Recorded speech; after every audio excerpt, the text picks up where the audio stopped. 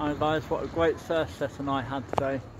One of the best surf sessions I ever had in the UK since I've been back off my holiday. It's really good. Been out surfing with my mate Freddie. It was really good fun at his fan, just chilling. Another few beers we are and just have a chill evening. I'm off out clubbing tonight with my best mate Sophie and that. Gonna be a good night going up to Hardwick, gonna be good. I had a great surf session, really good. Got a lot of nice drone footage and GoPro footage on me out. Really good. One of the best surf sessions in months here in the UK. It was really good. It was two to four foot waves at 18 second groundswell. One of the best it was.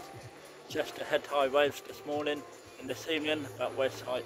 It's perfect, absolutely perfect guys. It's so good to be back out. There will be some GoPro footage and more drone footage from tonight. I'll be updating tomorrow guys as I'm off out tonight. So um, yeah, catch you all later of course and um, yeah, remember click that thumbs up, click that subscribe button, also click that notification bell and you'll be notified every time I update new YouTube video. Catch you later from West Wittering in October 2021. Of course, October 2021 at West Wittering. It's one of the best surf sessions I ever had. I'm a bit knackered, but it was good. So um, catch you later.